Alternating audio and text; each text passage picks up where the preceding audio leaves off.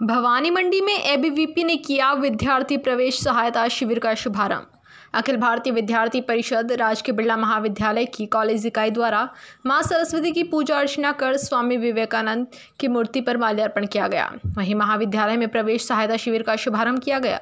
नगर मंत्री दिव्येश पाल ने बताया कि प्रवेश सहायता शिविर एबीवीपी द्वारा हर वर्ष लगाया जाता है और महाविद्यालय में प्रवेश लेने वाले सभी नवीन विद्यार्थियों की सहायता इस हेल्प डेस्क के माध्यम से की जाती है।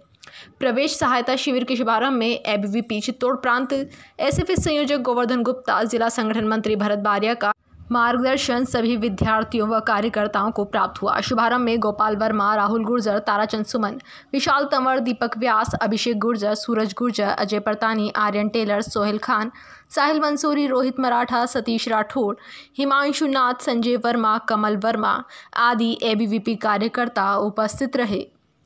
बीपीए न्यूज़ संवाददाता किशोर तंवर की रिपोर्ट। भवानी मंडी राजस्थान से खबर